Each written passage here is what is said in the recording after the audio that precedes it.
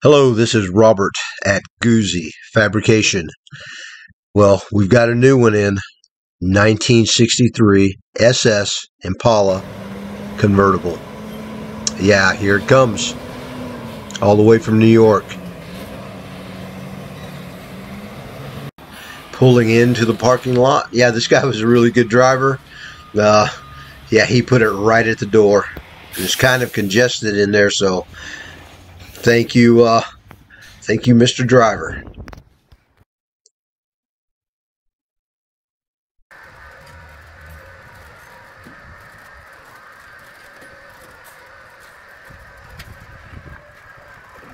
Yeah, it's nice when they uh, roll freely.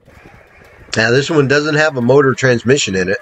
It's been pretty much stripped by the owner and then shipped to us. And hey, there's even air in the tires. That's a huge plus. And of course, this one was uh, all the way at the front.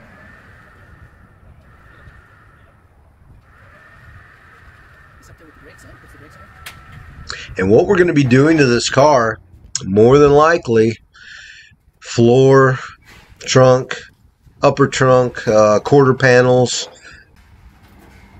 and just inspecting it on the carrier, well, it looks like there's probably considerable amount of body filler in this. So what we're going to do is go ahead and get this all tore down.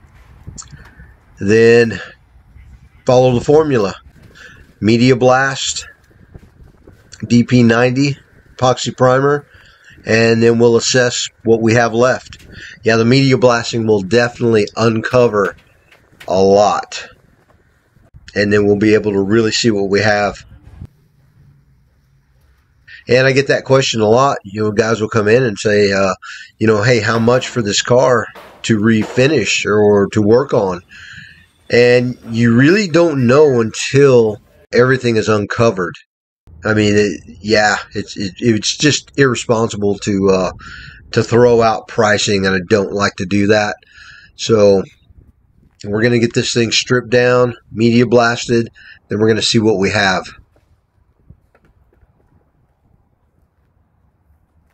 And there it is. Bright sunny day, red 63 convertible. Does it get any better? And like I mentioned, this is an actual SS car.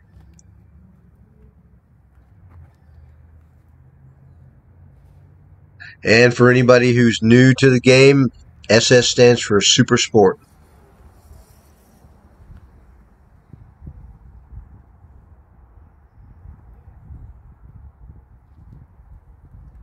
Yeah, on the surface it looks straight, but I can tell there's some uh, checking and cracking, and uh, it, car was probably refinished probably about 15 or 20 years ago, maybe a little longer. Still looks like in pretty decent shape. I've started with uh, quite a bit worse. At any rate, man, by the time we're finished, it's going to be really, really nice. We're going to do a real nice job for the customer. They will definitely be happy that they chose our shop.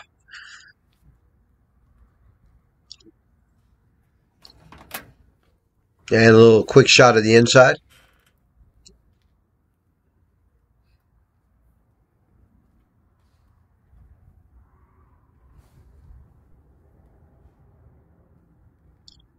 Yeah, there's no obvious huge holes or anything, but I did notice looking underneath quite a bit of uh, metal patching, and that's just common. Yeah, nothing, nothing out of the ordinary.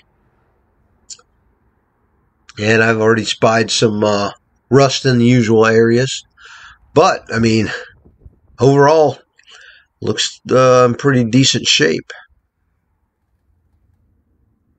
They don't make glove box doors like that anymore. That's for sure.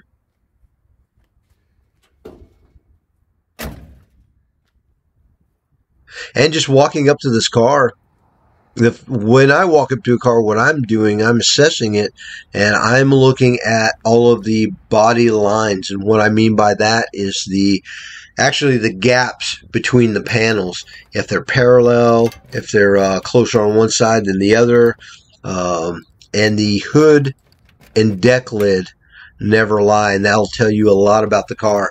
If the hood and deck lid have parallel lines all the way around on the three sides, that's a huge, huge plus.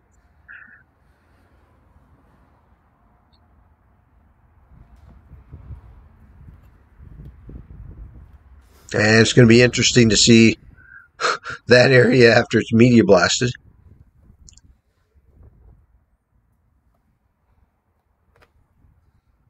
And inside that wrapped up blanket or uh, towel is trim. There's a shot of the original speckle trunk paint.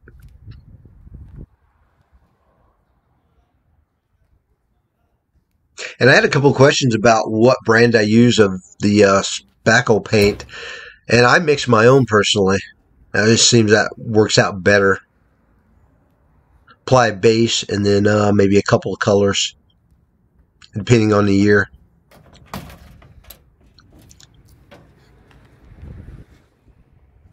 And there's the passenger side. No huge obvious problems.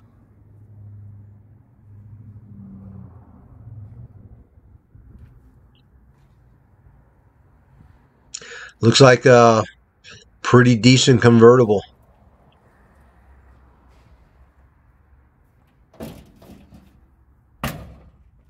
Yeah, I can only imagine buying something like this brand new. How cool would that have been? The first time the top was down and arm over the uh, arm over the seat, just cruising. Yeah, that was. I bet that was uh, something.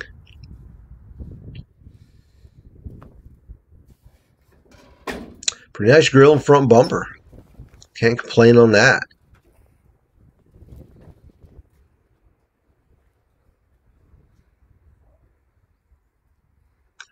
Hey, we just finished up the 62 Impala. And if you care to go back and check out that whole metalwork build, check it out on the playlist. And uh, stick around. We're going to go all the way through this one.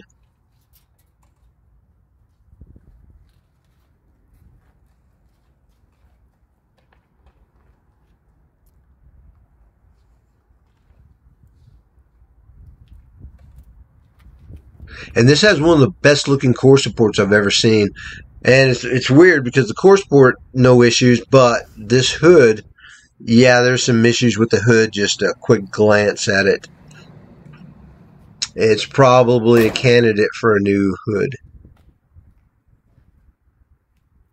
Hey, hit that like and subscribe, man, and uh, stick around. We're going to make this thing beautiful again. Ship it back to New York as always. Thanks for watching.